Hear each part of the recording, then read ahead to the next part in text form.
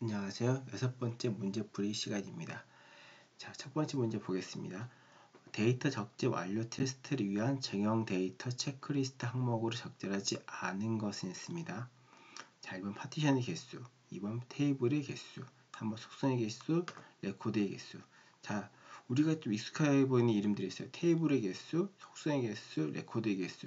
이것들은 어떻게 그 이게 이미 거의 정해진 거기 때문에 정해진 그 개수들이 맞는지 어떤 그 우리가 확인하기가 쉽죠. 그래서 체크리스트에 항목에 넣을 수 있는데 파티션의 개수는 이거는 이렇게 임의적인 거기 때문에 그거 어떤 시스템에 달라질 수 있기 때문에 이거는 우리가 어떤 값, 정해진 값이 아닙니다. 그래서 이거는 우리가 체크리스트 항목에 보통 포함시키지 않습니다. 그래서 파티션의 개수가 답이 되겠습니다. 자, 두 번째 문제입니다.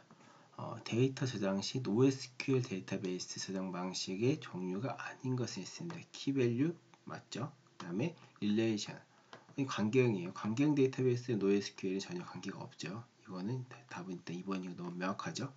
그다음 column oriented 데이터베이스 그 다음에 document 데이터베이스 이건 다 NoSQL 쪽이죠. 그래서 관계형 데이터베이스는 이미 나는 관계형이야 라고 했기 때문에 일단 NoSQL하고는 전혀 관련이 없다 라는 거에서 답이 이미 2번이 확실하죠. 자, 다음 문제입니다. 빅데이터 저장 시스템 선정을 위한 분석 요소를 적절하지 않은 것은입니다. 기능성 비교 분석 당연히 해봐야죠. 분석 대상 데이터 유형, 데이터 유형이 중요하죠. 사용자 교육 용이성. 글쎄요, 이 부분은 저장 시스템 선정인데 사용자 교육 용이성까지 봐야 될까는 좀 의문이 듭니다. 기존 시스템과 연계성, 그죠? 연계성, 호환성이 중요하죠. 그래서 답은 3번 사용자 교육 용이성이 되겠습니다. 자, 다음 문제입니다. 빅데이터 저장 시스템 선정을 위한 기능성 비교 분석의 요소로 적절하지 않은 것은 기능성 비교 분석입니다. 자, transaction 일관성, 확장성, 데이터 모델, 호환성, 호환성은 제가 앞선 문제 풀이 과정에서 그랬죠. 이렇게 연계성 말하면서 제가 호환성 같이 말했어요. 이거는 해서 이거는 그 기존 시스템과의 연계성 요소로 볼 수가 있겠습니다. 나머지들은 다 이게 그 기능성 비교 분석 요소가 될 것이고요. 답은 호환성이 되겠습니다.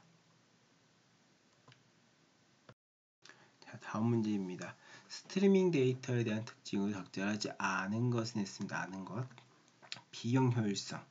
자, 일단 실시간, 우리 스트리밍 데이터 같은 건 실시간입니다. 실시간이 들어가면은 비용 효과 효율적이 될 수는 없어요. 그래서 일단 답은 1번이 될 것이고요.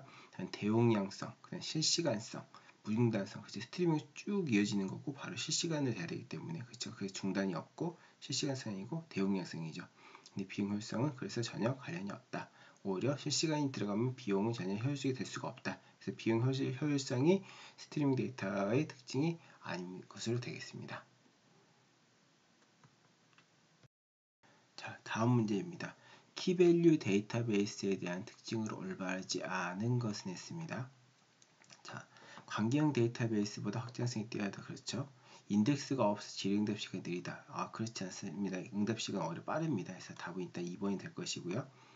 그리고 데이터를 키와 그에 해당하는 값을 쌍으로 수정하는 방식이다 했고요. 단순한 데이터 모델에 기반을 두고 있다 했습니다. 그래서 일단은 답은 2번입니다. 시간이 오히려 딜응답 시간이 빠릅니다.